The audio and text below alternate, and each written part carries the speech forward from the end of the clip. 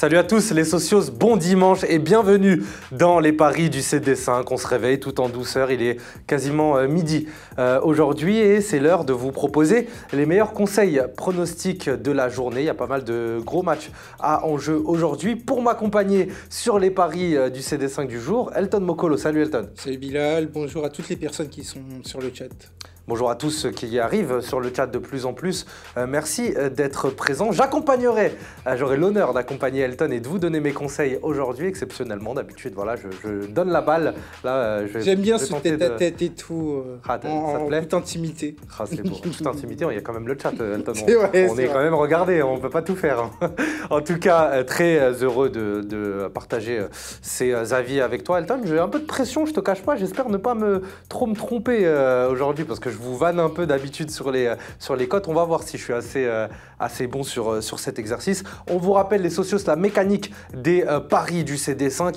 Premier pari remboursé à hauteur de 100 euros et 10 euros de free bet. C'est cadeau, c'est offert, c'est magnifique, c'est pour vous. Code promo CD5. voilà, n'oubliez pas de l'entrée évidemment. Hein. Et on vous rappelle que parier comporte des risques. Donc on vous invite, on vous encourage à le faire avec modération.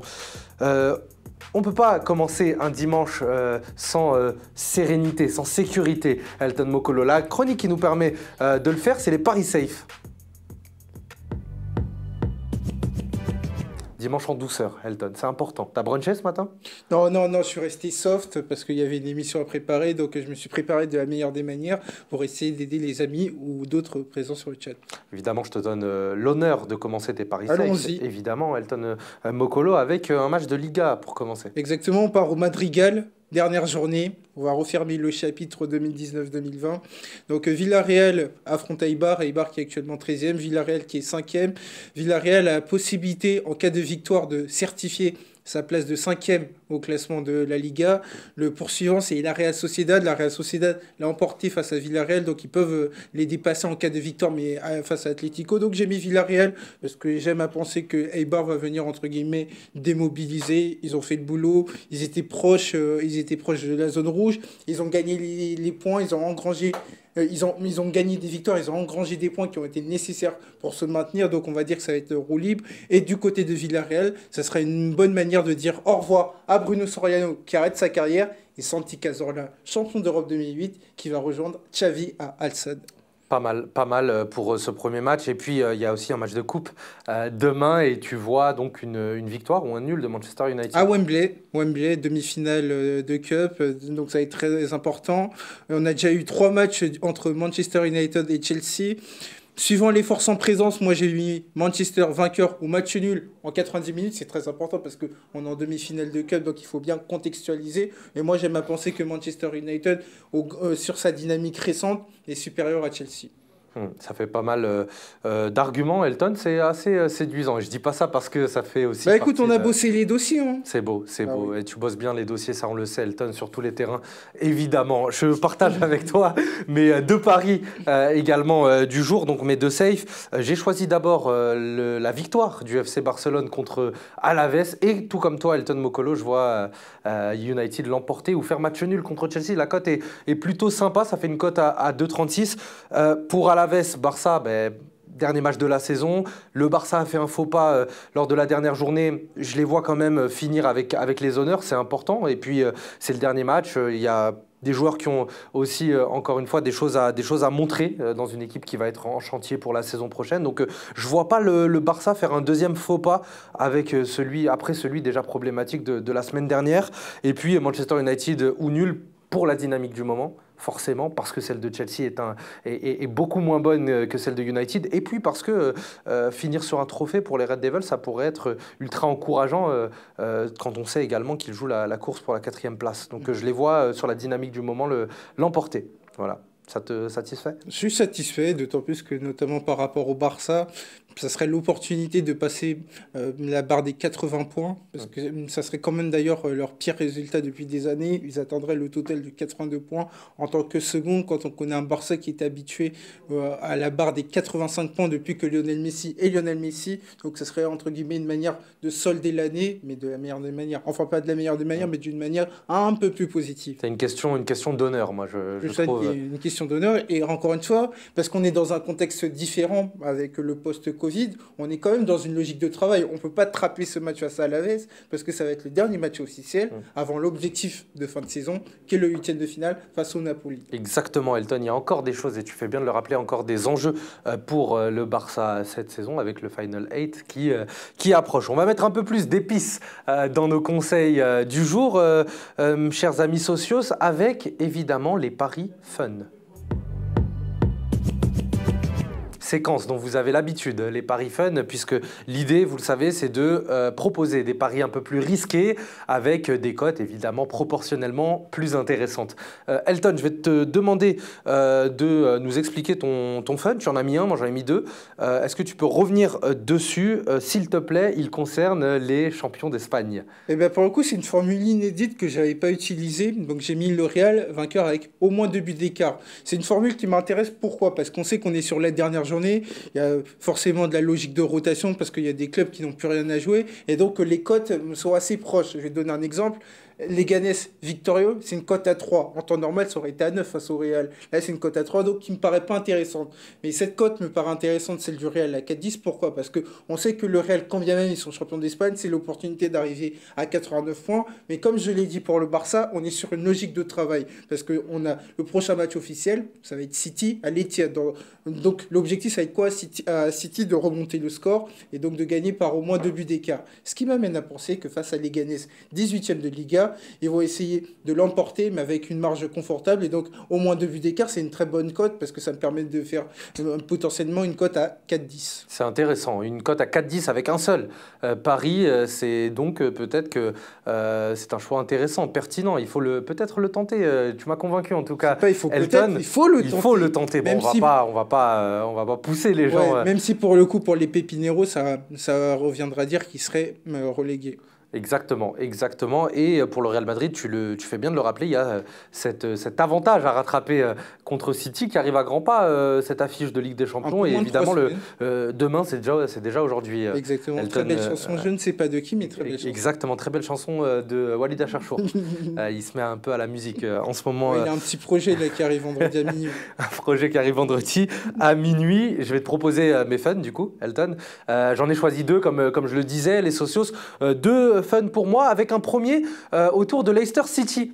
Euh, malgré euh, les récentes déconvenues des Foxes, il y a cette, place qualificative qu'il faut assurer en Ligue des Champions pour suivre Leicester depuis des années. On sait que quand, quand ils ont connu une déconvenue en général, bah, il y a ce sursaut d'orgueil qui peut arriver. Moi, je les sens bien. je les sens bien, Leicester, revenir dans la course. Ils ne peuvent pas se permettre un, second revers. Ils sont dos au mur. Et peut-être que c'est le moment de les jouer. La cote est à 3,20. Je trouve que c'est ultra intéressant euh, euh, pour, euh, pour une équipe de ce standing cette saison. Donc voilà, Leicester contre Tottenham, même si Tottenham revient bien contre les gros, c'est l'occasion ou jamais si Leicester veut conserver cette, cette place qualificative. Donc pour moi, ils vont jouer couteau entre les dents. Et quand, quand Leicester joue couteau entre les dents, en général, ça passe. J'en ai pas la certitude, mais j'y crois très fortement. Et mon deuxième fun, c'est aussi une intuition. Celle-ci qui est peut-être un peu moins pragmatique que, euh, que celle de Leicester, puisque euh, la Fiorentina fait une, une, saison globalement qui est assez décevante. Mais euh, pour les avoir vus jouer dernièrement contre Lecce, je trouve qu'ils retrouvent du plaisir sur le terrain, une certaine forme de solidité. Euh, Chiesa, on a eu le retour de Rachid Ghezal également qui a marqué un très joli but euh, sur, euh, sur coup franc. Donc il y a, y a, une fin de saison, une note qui est en train de, qui, qui, qui, est en train d'arriver et qui est plutôt positive du côté de la Fio. Donc je me dis autant finir cette saison en beauté. Ils, jouent un match où ils ont clairement leur, leur, leur, chance Elton. Donc moi je les vois bien, je les vois bien l'emporter la Fio et ça ferait voilà deux cotes intéressantes en fun. Pour les socios qui souhaiteraient doubler leur mise. Qu'est-ce que tu en penses Pour le coup, par rapport à Tottenham-Leicester, là, je serais, je serais un pas de côté parce que Tottenham est toujours engagé dans une course non seulement en Ligue Europa, mais peut-être une course plus hypothétique en Ligue des Champions. Donc aussi, pour le coup, il va arriver les couteaux entre les dents. C'est un, un, choc qui va pas être facile, mais bon, quand, on, quand on voit la saison de Leicester, je me dis au final, tous ces efforts, ah, il faudrait que... Leicester est devant Tottenham, donc ce serait pas déconnant de les voir s'imposer du côté du Newark Tight Lane. On verra, on verra si euh, leur nouveau stade leur sourit, même à huis clos, euh, Elton. Euh, on va passer évidemment à ceux qui vont vous permettre peut-être de manière individuelle de vous faire gagner quelques euros. Place au pari buteur. Paris buteur du jour, on va commencer évidemment par Elton, puisque je t'accompagne sur les paris, je ne veux pas me faire parler en, premier. Est-ce que tu peux nous donner tes deux buteurs, Elton? Exactement, donc là je suis parti sur Andrel Correa. Donc Andrel Correa, joueur de l'Atlético Madrid qui va recevoir la Real Sociedad, la Real Sociedad qui est actuellement sixième. Et du côté de l'Atlético Madrid, on se doit de s'imposer pour certifier sa troisième place, donc un podium. Si jamais, c'est toujours bon à prendre pour l'Atlético, quand bien même ça serait leur moins bon résultat depuis deux ans parce qu'ils étaient deuxième euh, les deux dernières saisons. Donc euh, moi je vois André Correa marqué, il présente l'avantage d'avoir une cote qui est très intéressante. Donc euh, raison pour laquelle je, je l'ai marqué. J'avais pensé à Costa, mais Costa on sait très bien que c'est beaucoup d'occasions pour très peu de buts. Euh, le Rente, il faudra voir son état physique, donc c'est pour ça que j'ai pas voulu toucher. Donc euh, je me suis reporté sur Andrel Correa. Correa euh, pour, pour Elton, je vais te donner le mien. Tiens, on va faire un, petit ping-pong sur ces buteurs du jour. On va suivre la, logique de mon pari fun, Elton, et, et j'ai choisi Jamie Vardy parce que forcément, si je vois une victoire de Leicester, ça ne peut que euh, passer par l'attaquant euh, anglais, euh, meilleur buteur du club encore une fois cette saison. Et puis voilà, c'est l'artificier. Et quand je parlais de devenir couteau entre les dents, je pense que Jamie Vardy l'incarne ce sursaut d'orgueil que connaît, connaît Leicester sur certains matchs, notamment face au gros. On sait qu'il qu'il est souvent prolifique, Jamie Vardy, contre les équipes du Big Six en Angleterre. Donc je le vois, je le vois marqué logiquement dans la continuité du pari contre, contre, Leicester, contre Tottenham. Est-ce que tu peux nous donner du coup ton deuxième buteur, Elton. Bah, cette fois-ci, on va encore repartir du côté de Wembley et précisément du côté de Manchester United et précisément du côté du meilleur joueur du mois euh, qui vient de s'écouler, Bruno Fernandez, donc, euh, qui est actuellement sur un rythme démentiel, c'est-à-dire que soit il fait une passe décisive, soit il met un but. Donc c'est précisément ce qui m'intéresse. Bruno Fernandez, buteur, il présente l'avantage d'avoir une cote qui avoisine la cote de 3. Donc, euh, moi, ça me paraît très intéressant. Bruno Fernandez est en capacité de tirer les pénalties, en capacité de tirer les coups francs. Il arrive régulièrement en seconde ligne pour euh, mettre euh, sa frappe. Donc, j'ai mis Bruno Fernandez, cote à 2,90. Très intéressante la cote, Elton. 2,90 pour Bruno Fernandez. Et moi, je vais finir mon deuxième buteur, Elton, avec le meilleur joueur français du moment. Moi, j'ai pas peur des mots et de le dire. Karim Benzema, évidemment champion d'Espagne. Elton, tu parlais tout à l'heure. Celui avec la, Ligue, la première ligue, donc c'est très difficile de trouver. Exactement, exactement. Même si, même s'il y en a, même au Real Madrid, ah euh, il y en a trois, donc euh, euh, quelque part. Et, et, Benzema, pourquoi Elton? Parce que tu disais très justement tout à l'heure que le Real Madrid avait peut-être un intérêt à jouer un jeu offensif sur cette dernière rencontre dans l'optique du match contre City, et surtout parce que Karim Benzema, d'une part, est à deux longueurs de Lionel Messi, donc sur un match pourrait devenir Pichichi si jamais il mettait euh, deux buts euh, ou plus, et si euh, dans l'absolu Messi ne marquait pas contre Alaves. Et puis Elton, depuis, depuis le match de Villarreal, on le sait, Sergio Ramos a, a fait preuve de générosité concernant les, les tirs, les, les pénalties. Il a fait allégeance. Et, il a fait allégeance à, à, à, son, au deuxième meilleur buteur de, de Liga, dont je me dis que si le Real Madrid a un pénalty, je ne veux pas rentrer dans les polémiques, mais on sait que ça arrive pas mal de fois cette saison, même si ce n'est pas l'équipe qui en, qui en reçoit le plus. Mais euh, je me dis que voilà, si euh, Ramos laisse Benzema euh, tirer les, les, les pénalties dans l'optique de, de, remporter le Pichichi sur un match, a priori contre une équipe beaucoup plus faible, qui n'est pas forcément dans, son, dans son meilleur jour, je me dis que ça peut être très intéressant de jouer Karim Benzema. En plus, il est buteur régulièrement ces dernières journées, donc c'est ce, qui me, ce qui me permet de te dire ça. Et la déclaration d'intention de Zinedine Zidane en conférence de presse, quand on lui a posé cette question, à savoir que tout va être fait dans la mesure où le Real a rempli son objectif principal, donc tout va être fait pour faire faire en sorte que Karim Benzema soit meilleur buteur à l'issue de la 30e journée. Mais comme tu l'as dit, ça va être compliqué dans la mesure où il, y a deux buts à remonter par rapport à Lionel Messi, ce qui impliquerait notamment un triplé de Karim Benzema. Benzema et une absence de but de Lionel Messi. Après, il peut, Karim Benzema, finir comme meilleur buteur, de, Liga, ce qui serait en soi un accomplissement. Mais il, lui manque ce trophée euh, du Pichichi. Ça viendrait couronner sa saison en Liga. Donc moi, j'y crois, j'y crois totalement. C'est vrai, d'autant plus depuis euh, l'ère